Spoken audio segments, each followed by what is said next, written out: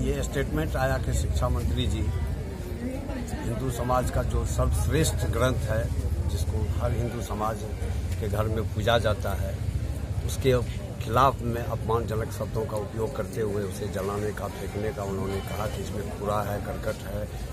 इसको, इससे हम आहत हुए और हमने न्यायालय में केस किया है।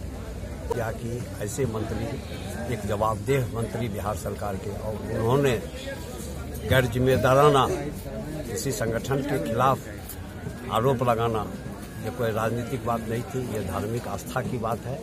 इससे आहत हिंदू समाज हुआ है, हिंदू के नौजवान हुए हैं, हिंदू माताएँ हुई है हिंदू के बुज़ुर्ग हुए हैं, ये तमाम लोग आहत हुए हैं। हिंदू समाज का कि इस तरह का भाषा का उपयोग उनको नहीं करना चाहिए।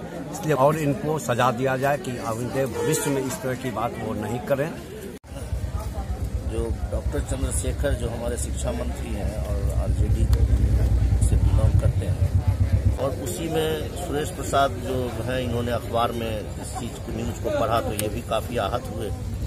तो इनके निवेदन पर मैंने एक परिवार तैयार किया, जो धारा एक सौ तिरपन ए, एक सौ तिरपन बी, दो सौ पंचानवे ए, पाँच सौ पाँच आदमी का उल्लंघन है। और इससे समाज जो है सो, को दो भाग में बांटने का प्रयास किया गया है, राजनीतिक उद्देश्य से, और उतना ही नहीं हिंदुओं के भावना को भी ठेस पहुंचाई गई। इसी के अति में जो है सो, ये कंप्लेन आज माननीय श्रीमान मुख्य न्यायिक दंडाधिकारी के यहाँ फ़ाइल किया गया है। और इसमें सुरेश प्रसाद जो है कंप्लेन